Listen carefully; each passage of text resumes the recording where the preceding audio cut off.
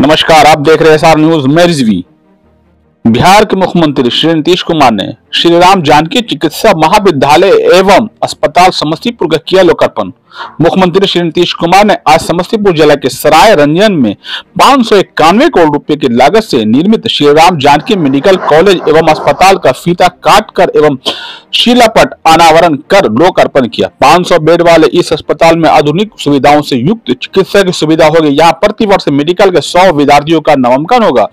Shri Ram Janaki medical college एवं अस्पताल भूमक रोधी बनाया गया है। भूकंप रोधी बनाया गया है। ये ग्रीन बिल्डिंग है। अस्पताल परिषद में ही अधीक्षक, प्रचारित चिकित्सक, कर्मीगण एवं छात्र छात्राओं के लिए आवासन की व्यवस्था की गई। मरीजों के परिजनों को ठहरने के लिए धर्मशाला का भी प्रबंधन किया गया।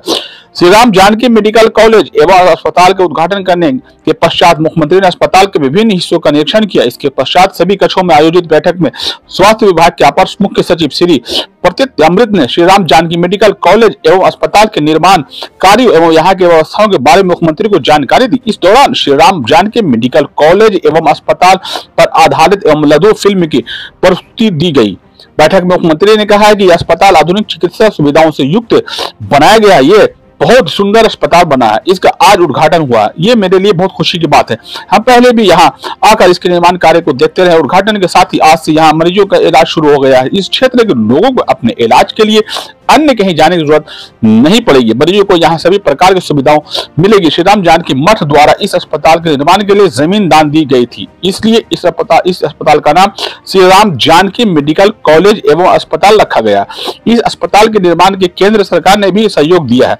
यह अस्पताल बड़ा और अच्छा बना है। यहाँ अभी 500 बेड और की सुविधा है, लेकिन इसकी भविष्य में एक हज़ार बेड का अस्पताल बनाने के लिए काम किया जाएगा और मेडिकल छात्रों के नामांकन की संख्या बढ़ाई जाएगी। इसके पश्चात मुख्यमंत्री ने श्री राम जानकी कॉलेज अस्पताल परिसर में जनसभा में उपस्थित लोगों को संबोधित करते हुए कहा कि यह बहुत खुशी की बात है कि श्री राम जानकी मेडिकल कॉलेज एवं अस्पताल का आज उद्घाटन हुआ।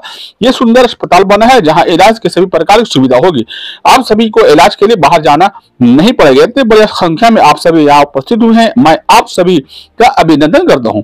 कार्यक्रम को उप मुख्यमंत्री श्री तेजस्वी प्रसाद यादव, वित्त वाणिज्य कर एवं संसदीय कार्य मंत्री श्री विजय कुमार चौधरी ने भी संबोधित किया। इस अवसर पर केंद्रीय गृह राज्य मंत्री श्री नित्यानंद राय, उप मुख्यमंत्री श्री तेज प्रसाद यादव वित्तीय वाणिज्य कर एवं संसदीय कार्य मंत्री श्री विजय कुमार चौधरी, शिक्षा मंत्री श्री आलोक कुमार मेहता, बिहार विधानसभा उपाध्यक्ष श्री महेश्वर हजारी, सांसद श्री रामनाथ ठाकुर, विधायक श्री विजय कुमार, विधायक और श्री राजेश सिंह, विधायक श्री रणविजय साहू, विधायक श्री विजय पासवान, विधायक श्री अख्तरुल इस्लाम शाहीन, पूर्व सांसद श्रीमती अश्वमेध देवी सहित अन्य जनप्रतिनिधिगण स्वास्थ्य विभाग के अपर मुख्य सचिव श्री प्रत्यक्त अमृत, मुख्यमंत्री के विशेष कार्य पदाधिकारी श्री गोपाल सिंह, बिहार चिकित्सा सेवाएँ एवं आधारभूत संरक्षण निगम लिमिटेड के प्रबंधक, निदेशक श्री दिनेश कुमार, दरभंगा प्रमंडल के आयुक्त श्री मनीष कुमार, दरभंगा क्षेत्र पर क्षेत्र के पुलिस महानिरीक्षक श्री बाबूराम समस्तीपुर जिलाधिकारी श्री योगेंद्र सिंह, समस्तीपुर के पुलिस अधीक्षक श्री विनय तिवारी श्री राम जानकी अस्पताल एवं कॉलेज के अधीक्षक और डॉक्टर अलका झा, प्राचार्य डॉक्टर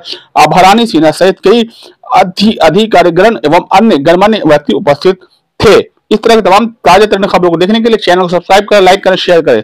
धन्यवाद।